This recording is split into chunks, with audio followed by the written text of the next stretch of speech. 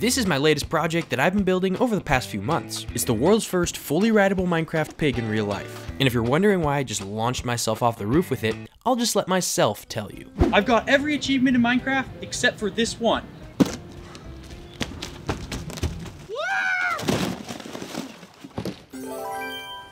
Luckily, that was just the cardboard prototype. This is the working pig, or Hamburgini, and at exactly one pig power, this thing can go a top speed of... Well, I guess we're gonna have to find that out. It's controlled using the carrot on a stick, of course, and as soon as the hungry pig sees the carrot, it starts to follow it. Or more accurately, it starts to chase after it. And as you can see from my face, this pig's got some scary fast legs. And I should probably mention that this was at only 60% power. I can't even imagine how scary this thing is going to be at 100%. But this dude doesn't just fly in one direction. It's got a full 360 degrees of motion. To turn it, you just move the carrot to one side and the Hamburgini will turn to follow, just like in Minecraft. It even beat my buddy's electric one wheel in a race. So you're probably thinking to yourself, wow, this seems extremely professional. And if you're thinking that, it's pretty clear you haven't seen how I built it. Now to get absolutely crazy speeds, you're gonna need a top-notch battery. And I pretty much had two options. Either I could make one, or buy one. Yeah, I think I'm just gonna make it. Using a sketchy welder I found on the internet and some 3D printed parts, I officially just made my first battery. At least, I think it's a battery. Now to make the body, I pretty much just drew on some wood, sliced it up with the old saw, did a little bit of this thing, a little bit of that, and then boom. To make the unpowered feet, I just 3D printed these things, stuck a skateboard wheel in there, I somehow broke it, and then remade it and put the whole thing into a wooden foot. Whee! For the powered wheels, I also 3D printed the thing, but this time I stuck a motor in there and then stuck that into the foot and then screwed all of the feet onto the body. And obviously, I had to do a quick test after that. Finally, I made the head and slapped it onto the body.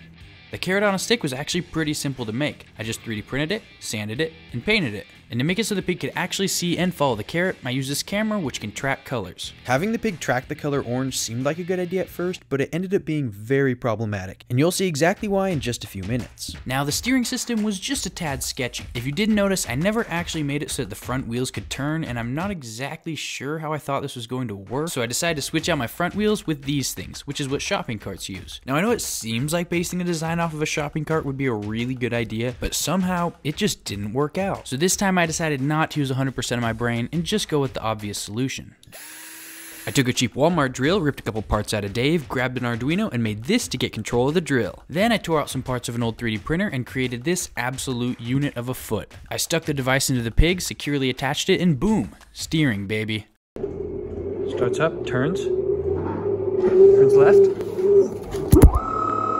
now that the pig is finished, obviously we're gonna need to find someone to test it. I'm gonna need someone who's good at Minecraft, but also dumb enough to actually be willing to ride this thing. Hey Joe. Hmm? At this point, your boy Thomas was getting a bit hungry, so I did the only thing that someone with a working Minecraft pig could do drive to McDonald's. They must have been a little shy or possibly intimidated by my large Twitter following because I sat at that drive through for a full minute and nobody said a thing. They ended up being so intimidated by the sheer power of the Hamburgini that they kicked us out. So instead, I went to Jack in the Box, and these legends let me ride that pig directly through the drive through without question. To be fair though, I wasn't driving this time. Can I get a bacon burger, but without the patty, the bun, cheese, and anything else that isn't bacon? Make sure to drop a like for bacon. Three, two, one. So do you guys remember Joe? Yep, that guy. Well, he decided to challenge the Hamburgini to a race. This Hamburgini. Now to give you an idea of how fast this beast can really go, I think we need to first do the speed test. Now I don't want to die just yet, so we're going to start with 30% power. Well, I guess I did survive that, so uh, let's just do the 60. All right, here we go.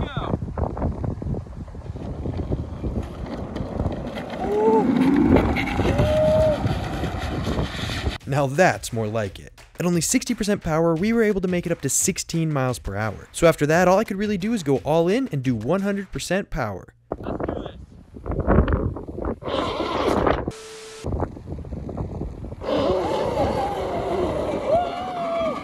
Did you guys hear that? That was the sound of a Hamburgini burnout, but it's a burnout on the inside. This belt here is what connects the motor's gear to the wheels gear. This is what the belt looked like before, and this is what it looks like now. I think the reason it got shredded is because it was way too loose and not very secure. So I put a brand new belt into the pig's foot and it's finally back in business. I also set up the pig to work with a controller just in case it ever senses something random and starts speeding away when it shouldn't. And with that, we are now finally ready to do the 100% speed test. All right, final speed test. Let's go.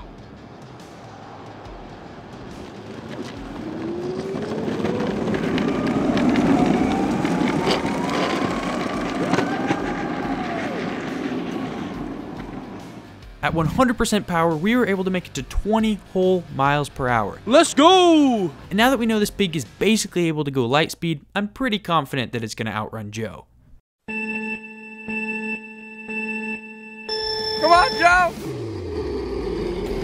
Why is he so fast?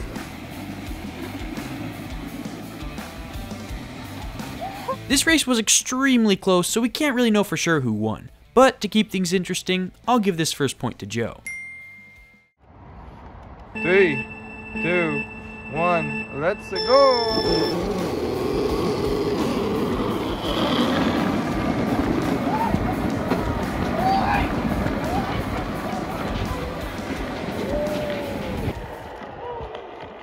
For this race, I pretty easily handed Joe the L. It was all tied up, and we are getting ready to do our third and final race when the worst possible thing happened. Not the pig, no!